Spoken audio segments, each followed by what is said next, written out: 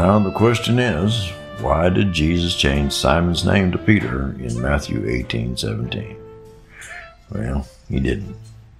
But we think Peter was a pun, or at least a nickname used by Jesus. Because in modern English, what Jesus said would go something like this You're a rock, Simon, and on the foundation of that rock I will build my congregation. He said to him, From now on, you're called Rocky. In Aramaic, it's Caiaphas. In Greek, which is the original language of the Gospels, it's Petros. In Latin, it's Petrus. In English, it becomes Peter. The first three mean rock, and the last two just preserve the sound without really knowing or thinking about what it actually meant.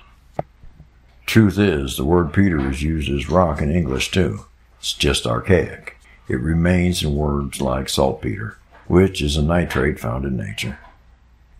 However, here in Matthew, it seems to be indeed a pun, because that's not where Simon received the name Peter in the first place. You see, he already had that name. First time he is mentioned as Peter is in Matthew 4:18, which is a much earlier verse than when Jesus called him that name. Matthew is the only gospel that says anything about building a community on a rock. But according to the earlier gospel of Mark, Jesus gave Simon the surname of Peter. Doesn't say why. Cat's gonna try to How many teachings have you heard on that one? Yeah, yeah.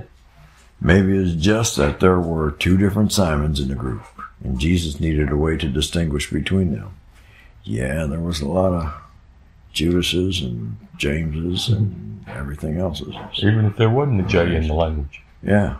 it's all true. Even if it didn't happen. and Jose. and the author of Mark had to use Peter because Paul had always referred to him as Peter or Cephas and never as Simon.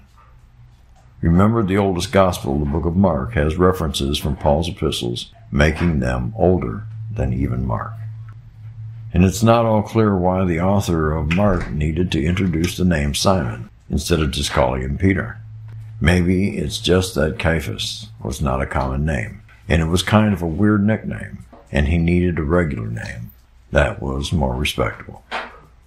Now, a little more about that man.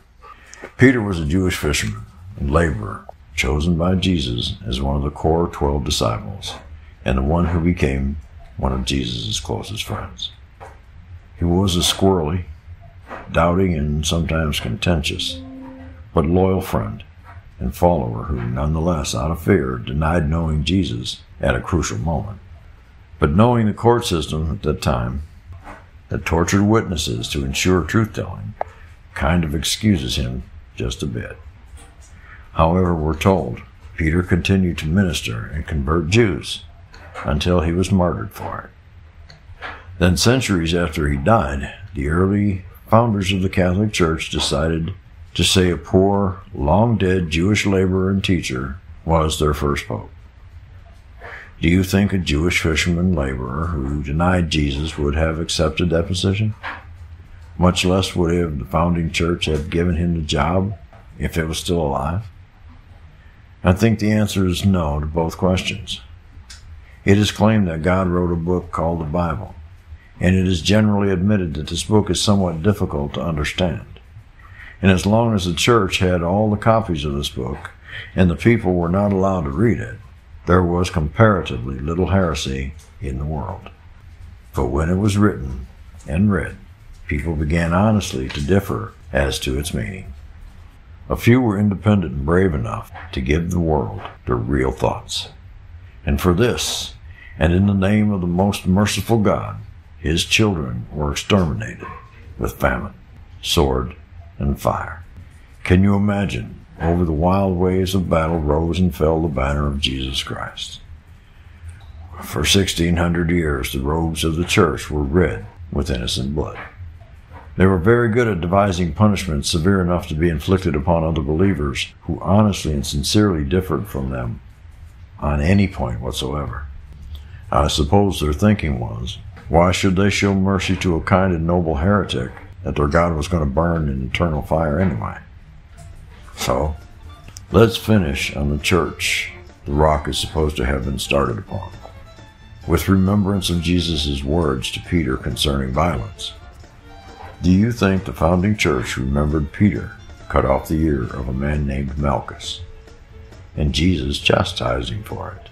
I know they didn't hear the lesson Jesus then provided, because he told Peter at that point, All those who take up the sword will perish by the sword. What's yet to come, boys and girls? What's yet to come?